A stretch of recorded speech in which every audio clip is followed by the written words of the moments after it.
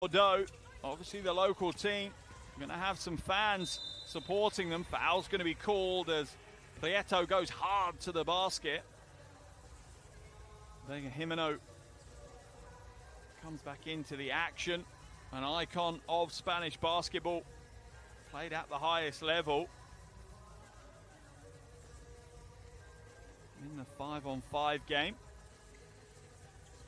Fights hard for the rebound. That's a good initial impact from Gimeno.